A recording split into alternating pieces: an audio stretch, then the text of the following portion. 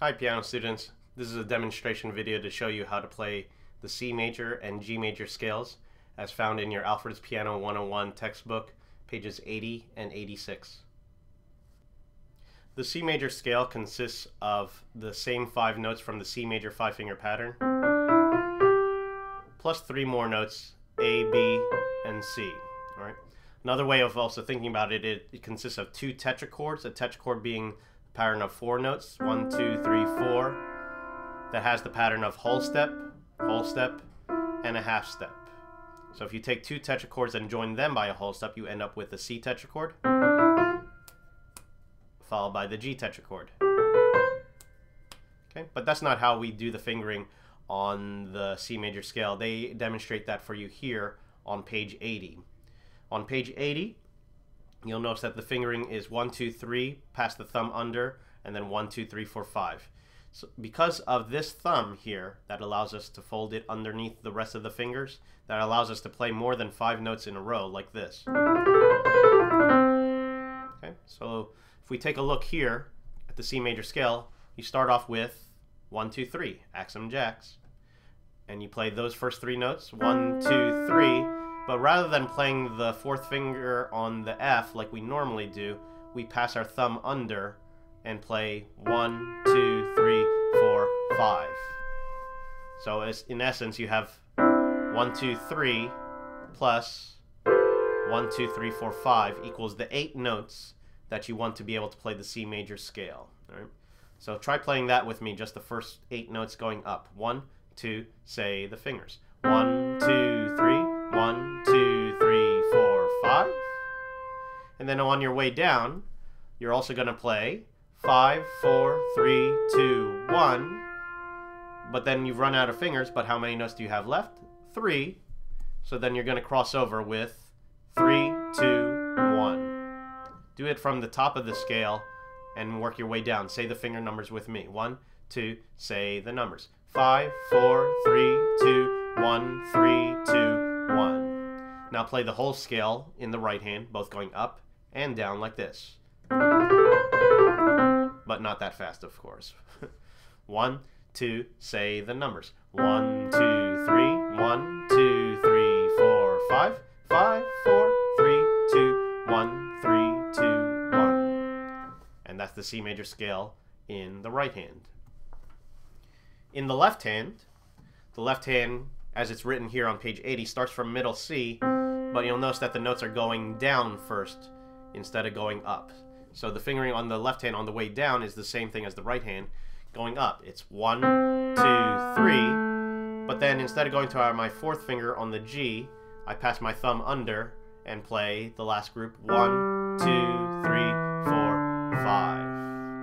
Try that with me on the left hand. One, two, say the numbers. One, two, three, one, two, three, four, five. And then on the way up, it goes five, four, three, two, one, three, two, one. So once you run out of fingers, cross over with your third finger and get to that. So play both going down and back up again with me. Ready? One, two, say the numbers. One, two, three, one, two, three, four, five, five, four,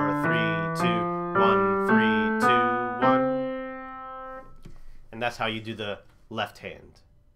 If you want, you could also even practice them hands together. That's a good way of reinforcing the finger numbers. Of course, you're not doing the same notes at the same time, but the finger crosses happen at the same time. You could play your ones together, sharing the C, the twos, the threes, even the thumb passing under happens at the same time. Twos, threes, fours, fives. Try that with me. One, two, say the numbers. Ones, twos, threes, ones, twos, threes, fours, fives.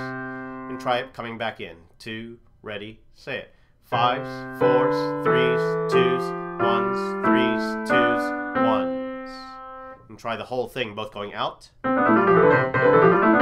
back in there, okay? One, two, say the numbers. Ones, twos, threes, ones, twos, threes, fours, fives, fives, fours, threes, twos, ones, threes, twos, ones. Turn in your books now to page 86 and I'll show you the G major scale. In the G major scale, remember every major scale can be made up of two tetrachords joined by a whole step. So a G tetrachord consists of G, A, B, C.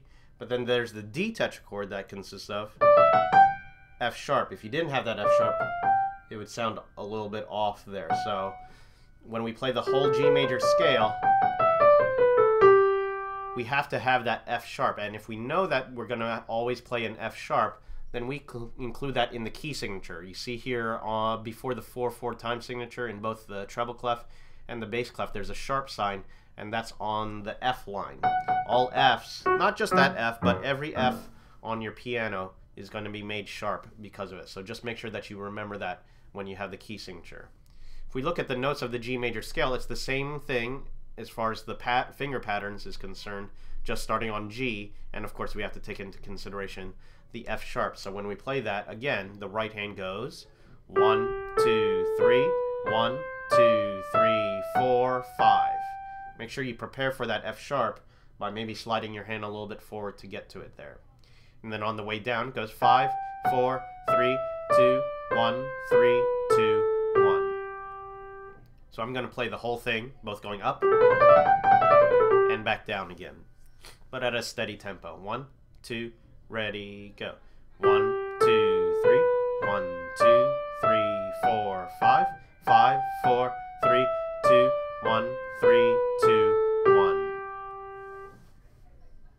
The left hand also starts on G, but this time it starts on the G below middle C. And the way that it's written here on page 86 is written going down first and then coming back up. But the fingering mirrors exactly what the left hand, excuse me, what the right hand is doing. Don't forget though that the second note that you're going to be playing is not F, but F sharp. Okay, so make sure you're listening out that you're playing the F sharp as the second note of the scale on the way down.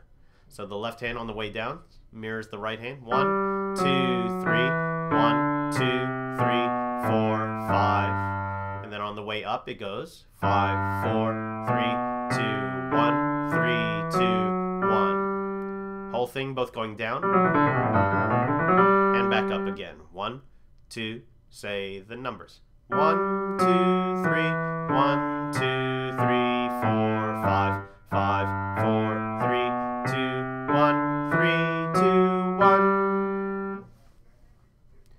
you'd like to play them hands together, you're not required to, but it's a good exercise in reinforcing the fingering patterns.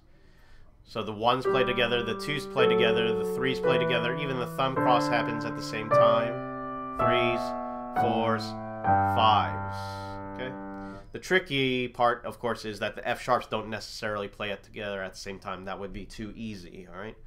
But on the way in, the right hand goes fours, threes, twos, ones, threes, F sharp in the left hand, one. Okay.